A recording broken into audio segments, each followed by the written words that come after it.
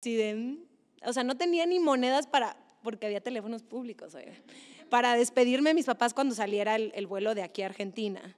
Y mi mente pueblerina es, no, no se fijó cuántas horas duraba el vuelo de Argentina. Yo decía, ah, pues un vuelo. Es que aparte, eh, hoy para ustedes es muy común viajar.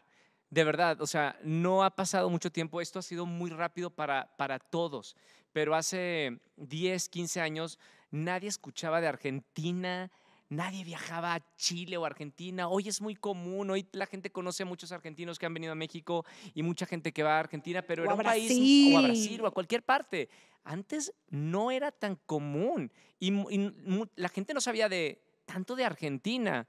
Estaba nueve horas desde la Ciudad de México en avión. O sea, era un destino que no frecuentábamos nosotros, los y, mexicanos. y el tener este intercambio cultural, para mí fue como irme de intercambio de la escuela. Ujú. O sea, imagínate, era de Fabi de Brasil con un afro y luego teníamos a Robson que era de color y yo decía, ¡ay, no manches, este color! o sea, ¿sabes? O sea, era así, o sea, era como, ¿qué es esto? ¿Qué es esta maravilla? Hay diversidad, hay tantas, tantos colores, tantas cosas